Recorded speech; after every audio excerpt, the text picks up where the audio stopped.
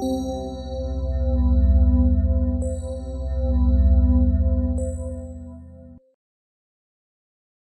vaxtınız xeyir olsun, hörmətli Yeni kanal izləyiciləri. Bizim studiyamızda müsahibələrimiz, müzakirələrimiz davam edir.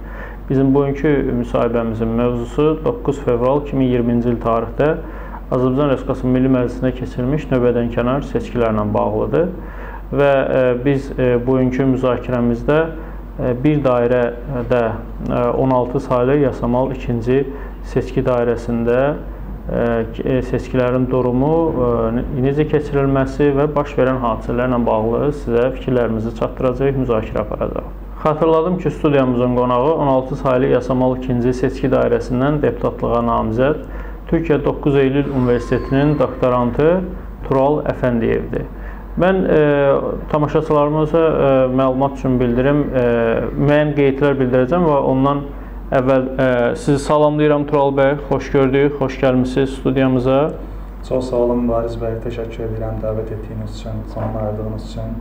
Minnətdaram. Və mən e, bir qısa qeydlər bildirəcəm tamaşaçılarımız üçün ki, mən özüm Tural bəyi e, Türkiyədə, ə, İstanbulda təhsil aldığı vaxtlardan, onun ə, təhsildə əldə etdiyi ə, yüksək nəticələrdən, Türkiyədə Azərbaycan-Türkiyə münasibətləri ilə bağlı həyata keçirdiyi tədbirlərdən, toplantılardan tanıyırıq, yaxşı tanıyırıq. Bizim orada birgə fəaliyyətlərimiz də olubdur və eyni zamanda ə, e, onun ə, e, həm təhsillə bağlı əldə etdiyi yüksək göstəricilər, eyni zamanda Azərbaycan adına orada həyata keçirdiyi çalışmalar, Azərbaycan dövlətinin e, həyata keçirdiyi siyasətin, Azərbaycan xalqının haqq işinin Türkiyədə tanınması istiqamətində çox faydalı işlərlə məşğul olub və Azərbaycan-Türkiyə münasibətlərinin inkişafı baxımından e, çox ciddi, gənc yaşından, gənc olmasına baxmayaraq çox ciddi qatqıları olubdur. İndi isə mən istəyərdim Tural bəy siz özünüz e, bir neçə cümlə ilə e,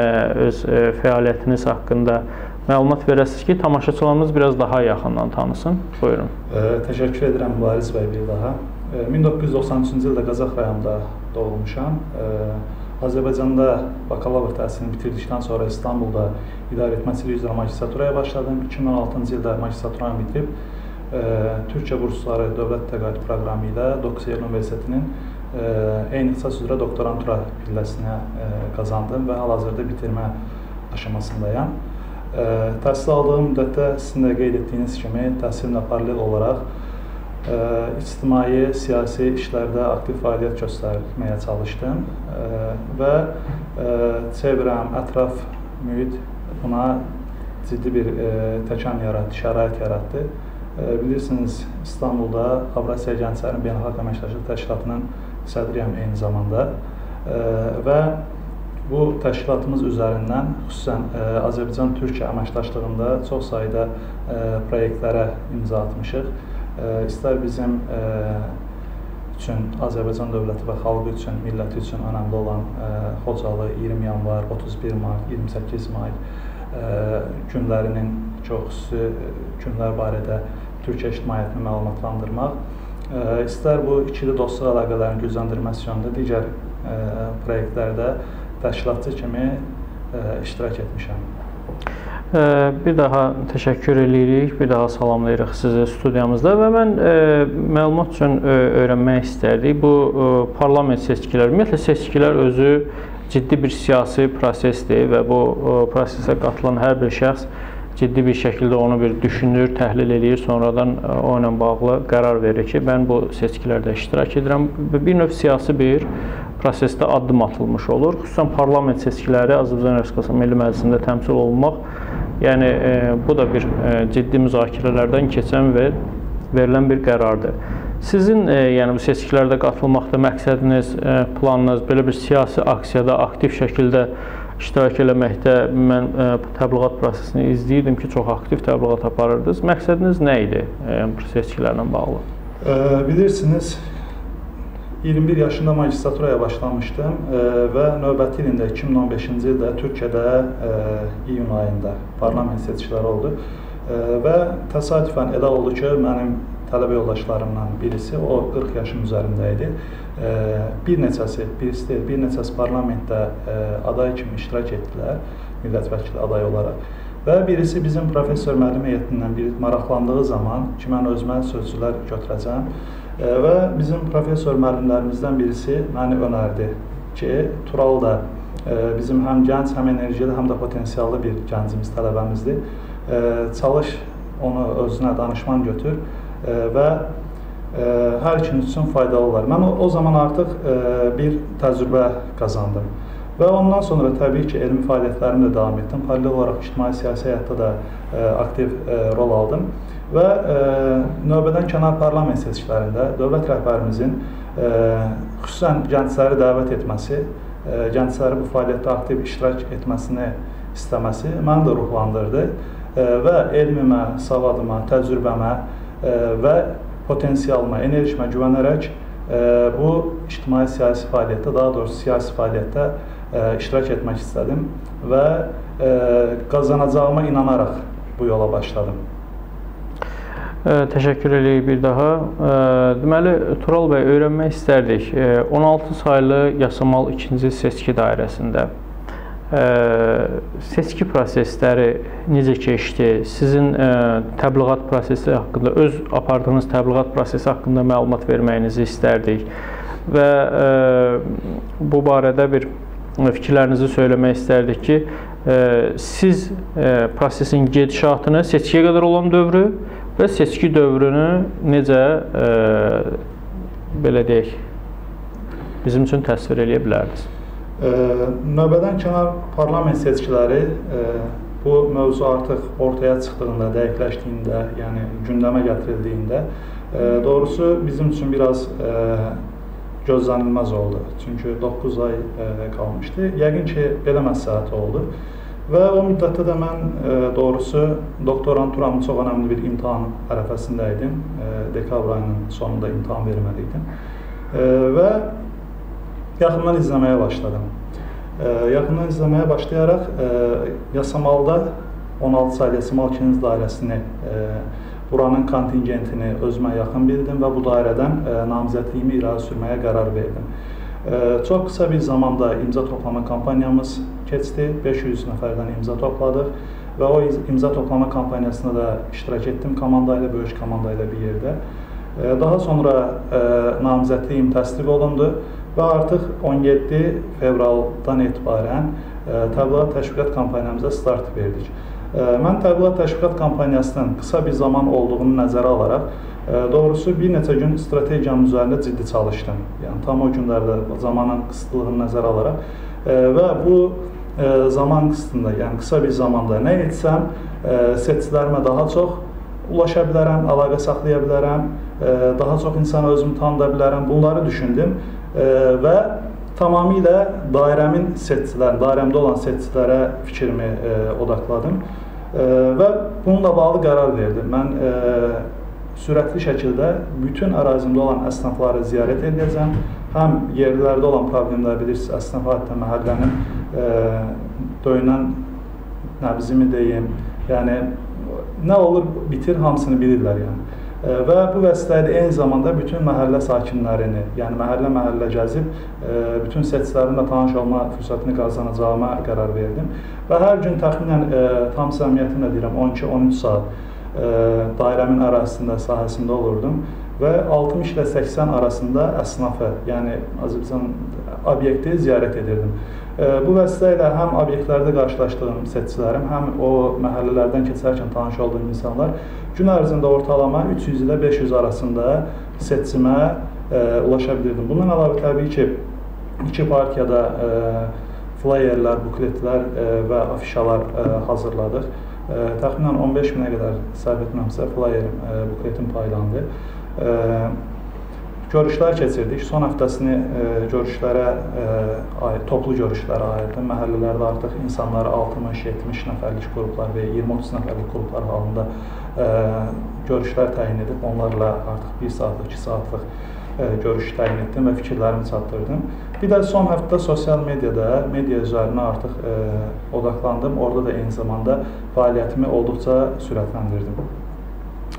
Təşəkkür eləyirik. Və e, prosesin özü məs e, seçki günü 9 fevralda necə cərəyan elədi da, həmin e, seçki dairəsində?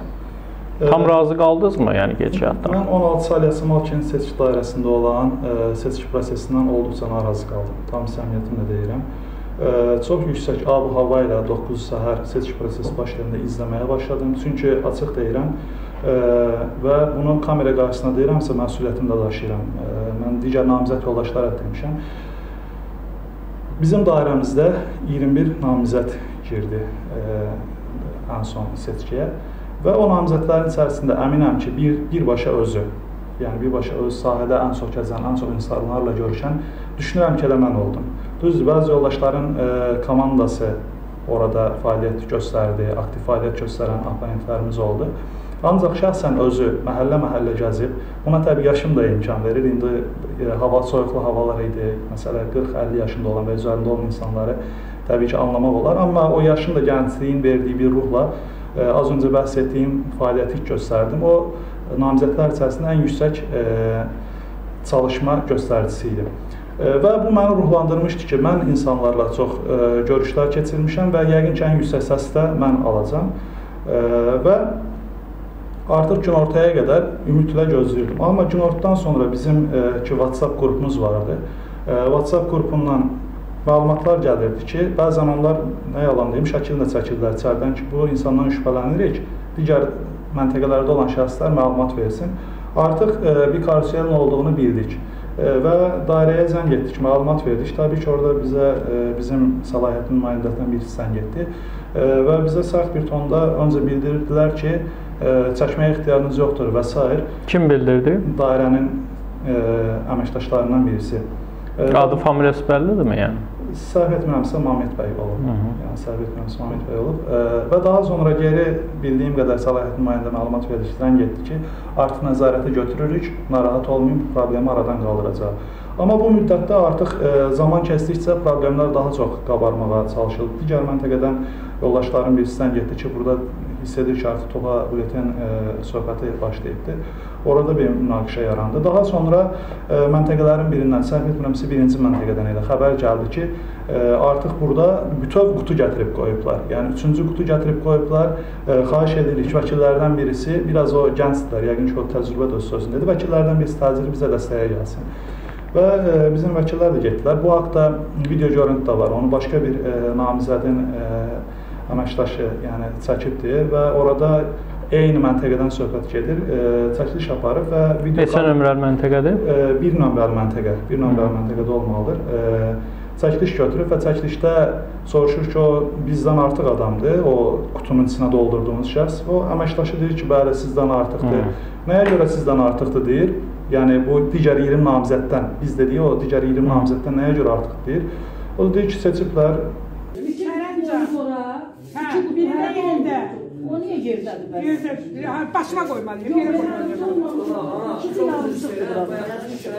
Bu yarımçıq səs. 120 saat o birinə xətamlar doldurub qoymuş. Səs verici öz yoluna Bu qutular hələ dolmur. Üçüncünü də doldurub qoymuşsunuz.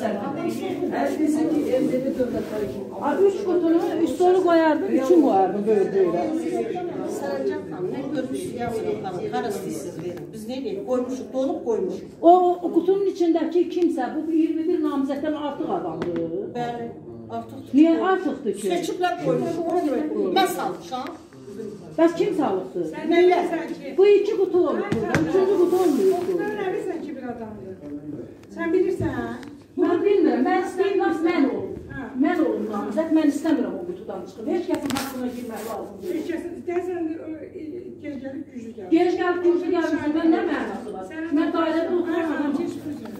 Yaxşı, etsən xəbər verir. Təbii ki, artıq bu və digər xoşagəlməz hallar başladı. Məsələn, xəbər aldıq bizim 15 e, saylı məntəqədən ki, artıq e, burada o qədər ə, digər namizədlərin yerinə imza toplama, imza çəkmə, yerinə səs atma başlayıb ki, hətta ə, namizəd... hansı namizədlərin yerinə? Məsələn, Sevda Bədalova, səhv etmirəmsə, namizədlərdən biri 15 saylı məntəqənin eyni zamanda seçicisidir. Həm namizəd, həm seçicisidir.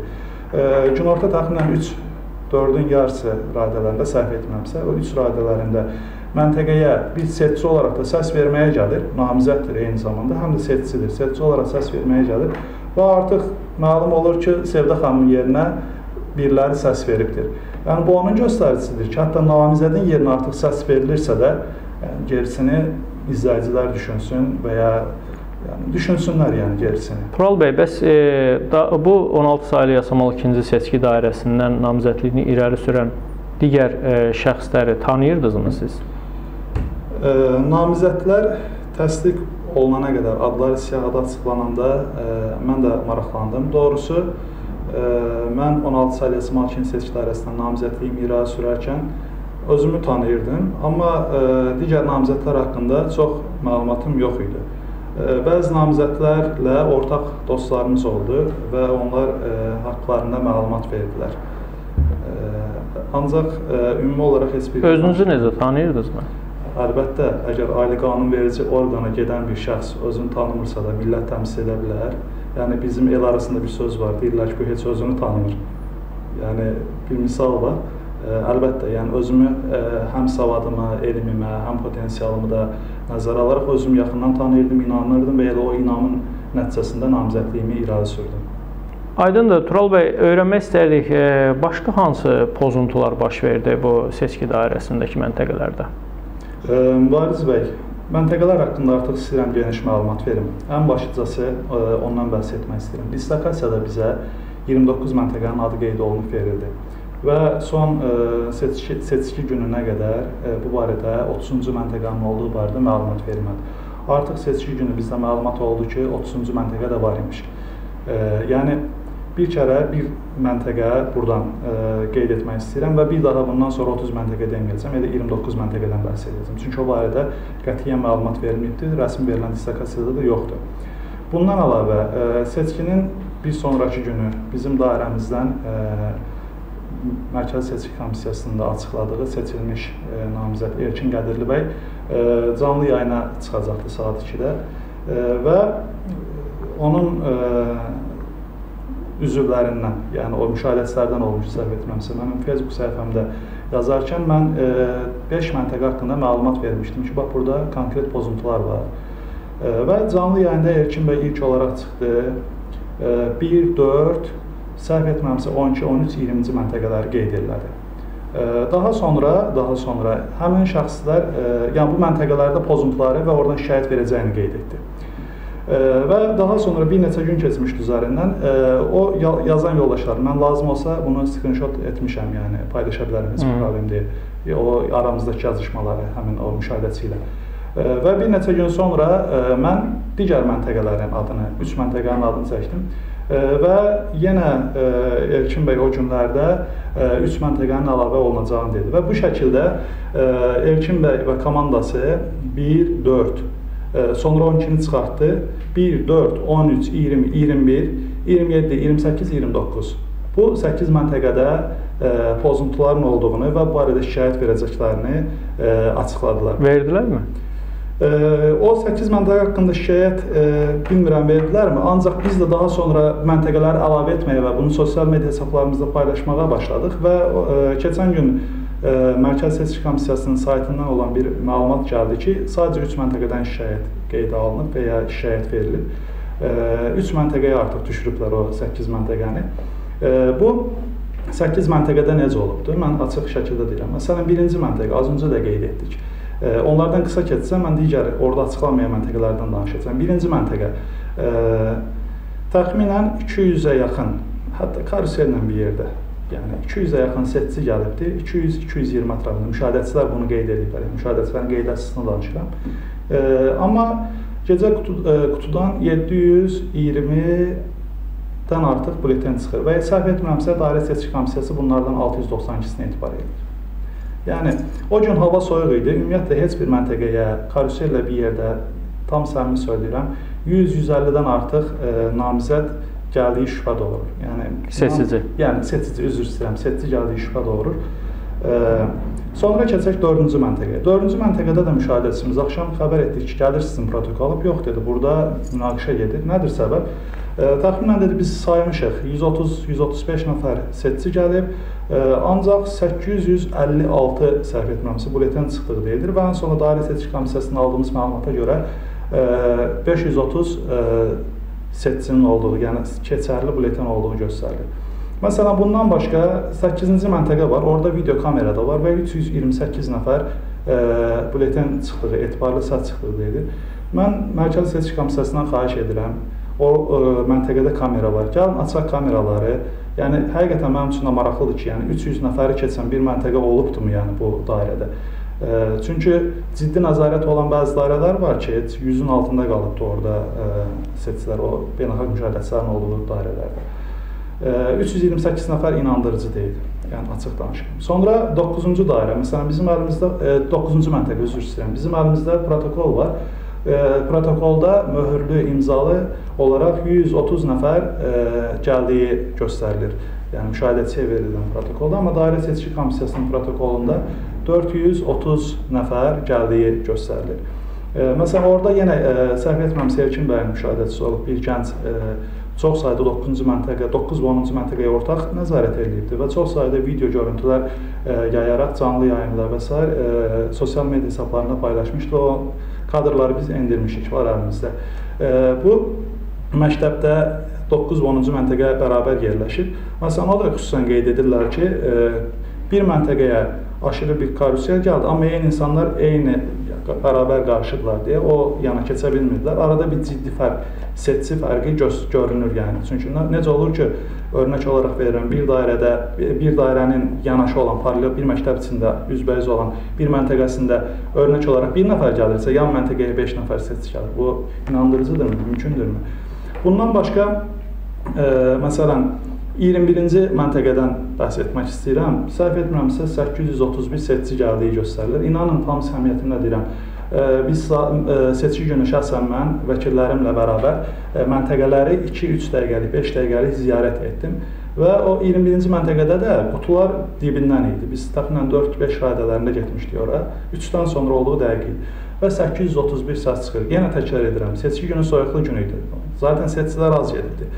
Və e, o məntəqə e, Beynəlxalq Bankın Yasamal filialının və Xalq Bankın qarşısında yerləşir. Tam səmiyyətimlə deyirəm, o mərkəzi kameralar, kameralar var. Yolun hər iki tərəfindən piyada 200-300 adam keçsin o gün. Məntəqəyə heç girən demirəm, girib girməyən. O gün o yoldan 200-300 adam keçsin, mən o məntəqədən şikayət etməyəcəm. Və bunu göstərsinlər 200 adam buradan piyada keçibdi. Mən inanmıram ki, o soyuqlu gündə oradan nəinki məntəqəyə 831 adam gəlib. 200 adam o yoldan keçməyibdi. Sonra e, 23-cü məntəqə var. Məsələn, o da eyni şəkildə. İndi Erkin bəy onu qeyd etməyib. Mən bu 23-cü məntəqəni qeyd edim. E, 251 nəfər bizdə protokol var ki, 200 imzalı və möhürlü. 251 nəfər gəlib və 468 oradan dairə seçki komissiyasından verilən protokolu 468 keçərli səsin olduğunu göstəriblər. Varmı belə bir şey? Ondan başqa e, yenə 27, 28, 29-cu məntəqələrdə eyni şişirtmələr var ki, Erkin bəy buna görə yəqin bu məsələni də qabartmışdılar, amma bilmirəm niyə ən axırda 3 məntəqəyə keçdilər. Yəni elə görünür, rəsmiyyətdə elə görünür. Ümumi olaraq da, ümumi olaraq da e, bütün seçki 16 saylı Simal seçki dairəsindən 9724 səs səhv etməmizə göstərir. Bu başdan sona tam səmiyyətimlə deyirəm yanlışdır. Yəni o e, tamamilə şişirtmə, şişirtmədir. Yəni bunu yəni bu qədər seçici gəlmirdi. Hə, aydındır. Tural bəy, e, yəni həmin e, dairə üzrə Mərkəz Seçki Komissiyası, Dairə Seçki Komissiyası tərəfindən e, lider namizəd kimi e, Erkin Qədirli elan olunub və bu günə qədər də o nəticələr e, qeyri-adi şəkildə dəyişməyib. Yəni Mərkəz Seçki Komissiyası da ləğv etməyib həmin dairənin nəticələrini və görünən budur ki, bu gedişat da MSK-nın yekun protokolunda Erkin Qədirli qeyd olunacaq və e, yeni çağırış parlamentin deputatı kimi fəaliyyət göstərəcək. Və sizin faktlardan da belə anlaşılır ki, Erkin Qədirli saxta yolla seçilibdir. E, belə bir e, fikri söyləmək mümkündürmü? Necə qiymətləndirirsiniz? Yəni faktlar e, ortadadır. Düz indi orada deyirlər ki, e, 12 məntəqəni gətirib isbat etməlisiniz e, ki, bu məntəqələr ləğv olunsun və açıq şəkildə deyirəm, biz keçən e, keçən deyil, 12 fevral tarixində Dairə Seçki Komissiyasına şikayət yazmışıq və səhv etmirəmsə 17 məntəqədə olan uyğunsuzluq barədə məlumat vermişik və təəssüflər olsun ki, bizə oradan geri dönüş 2 nəfər e, o şikayət ərizəsini yazmışdıq. Hələ mənə verməyiblər o kağızı, digər yoldaşa veriblər. O aldığım məlumata görə sadəcə ə, ümumi seçki məcəlləsində olan ə, bəndləri oraya kopyalayıb yapışdırıblar və ən sonda da qeyd ediblər ki, sizin şikayətiniz ümumi xarakterlidir. Hətta sizin müraciətiniz səbəb etməmiş ümumi xarakterlidir. Yəni şikayətlərimizə bir növ baxmırlar desək yalan olmaz. Hı -hı. Ə, çünki və bu da məni düşündürür. Necə olur ki, biz ə, 15-dən artıq, yəni 17 ə, məntəqənin adını yazırıq. Buna baxılmır. Ancaq e, bizim də sosial mediada işıqlandırdığımız iki məntəqələr vardı ilk günlərdən. Məsələn, e, onu Erkin bəy şikayət verirlər. İndi 8-in qeydə almasılar üçünə qeydə alırlar. Amma digər namizədlərin şikayətini ciddi şəkildə əsas almırlar. Yəni bu da bir təzad yaradır. Yəni nəyə görə belə davranırlar? E, mən bu sualın cavabını həqiqətən özüm də çox maraqlanıram, bilmək istəyirəm. Bir daha sualımıza qayıtmaq istərdim ki, 16 sayılı Yasamal 2-ci seçki dairəsində və oradan lider namizəd olunan Erkin Qədirlinin seçkilərin saxtalaşdırıldığını, həmin namizədin saxta yolla seçildiyini bir mənalı şəkildə söyləmək olarmı Tural bəy? Buna Erkin bəyin canlı yayında verdiyi müsahibə əsasında bir cavab vermək istəyirəm. Erkin bəy müsahibəsində mənə məlumat verildi. Tam izləyə bilməmişəm, amma belə bir təxminən belə bir fikir ifadə edib ki, bəli bəzi məntəqələrdə mənim yəni xeyrimə ciddi bir şişirtmələr var, mən bunu qəbul etmirəm. Ancaq bildiyim qədərdir belə bir şey də deyilib ki, mən bəzi məntəqələrdə halal yolla qazanmışam, ancaq məntəqədə səslərin sayı az olmasın deyə hər kəsin xeyrinə standart səs atılıbdır. Bu da təbii ki, mənim günahım deyil. Mən orada halal yolla qazanmışam. Təxminən belə bir ifadə söyləndiyi mənə çatdırıldı. İndi mən Mərkəzi Seçki Komissiyasının xüsusilə hüquqşünaslarına bildirirəm və eyni zamanda səhv etmirəmsə Erkin bəy də hüquqşünasdır. Erkin bəylə də özü də başda olmaq üzrə Mərkəz və Mərkəzi Seçki Komissiyasının hüquqşünaslarına da sual vermək istəyirəm. Əgər bir məntəqədə, bir məntəqədə istər 1, istər 10, istər 100 seçidən əlavə oraya topa biletin atılırsa, bu istər hər kəsin xeyrinə eyni olsun. İstər Erkin bəyin deyil, hər hansı bir başqa bir namizədin xeyrinə atılsın bu biletin. Fərq etməz. Kim orada isbat edə bilər ki, o biletin kimin xeyrinə atılıbdır? Bu halda o məntəqə ləğv edilməlidir ya yox? Mən bunu hüquqşünaslara bu sualı ünvanlayıram. Yəni e, bu məsələ hüquqi cəhətdən və vicdanla cavab versinlər. Yəni xüsusən Mərkəzi Seçki Komissiyasının hüquqşünaslarını ünvanlayıram. E, və Bunun özü də bir etirafdır ki, bəli, məntəqələrin daha çoxunda saxtakarlıq olubdur, seçki saxtakarlığı olubdur. Bundan sonraki addımlar nədən ibarət olacaq Tural bəy? Yəqin ki, şikayətlərlə bağlı qeyd. Mən açıq və net şəkildə deyirəm, bu məsələni Mərkəzi Seçki Komissiyası ətrafında gündəmdə saxlayacağam. Əgər ehtiyac olarsa, bu gün bir bilirəm ki, onlar da işləri çoxdur. Bu məsələ ilə narahat etmək istəməsəm də ehtiyac olarsa dövlət rəhbərliyinə də bunu bu barədə şikayət ərizəsi yazıb müraciət edəcəm. Amma təbii digər yoldaşlar gözləyirlər ki, Avropa məhkəməsinə vəsait verəcəksənmi? Xarakter etibarilə dövlətimə, dövlətçiliyimə bağlı olan bir insan olaraq mən öz dövlətimi, öz bayrağımı kənar bir dövlətin qarşısında şikayət etməyəcəm. Bunu açıq və net deyirəm. Ancaq inanıram ki, elə heç e, buna ehtiyac da qalmayacaq. Elə öz dövlətimiz bu məsələyə aydınlıq gətirəcək, haqq ədalət də yerini tapacaq. İnanıram ki, elə öz dövlətimizdə e, öz qurumlarımız məsələni kökündən həll edə biləcək. 16 saylı Malkin seçki dairəsinin nəticələri ləğv olunaraq yenidən ə, e, seçki keçiriləcək. Mən buna inanıram, ümidimi üzməmişəm. Ləğv olunmayacağı təqdirdə ə, məhkəmə və ehtiyac olarsa dövlət rəhbərliyinə şikayət verəcəyik. Aydındır.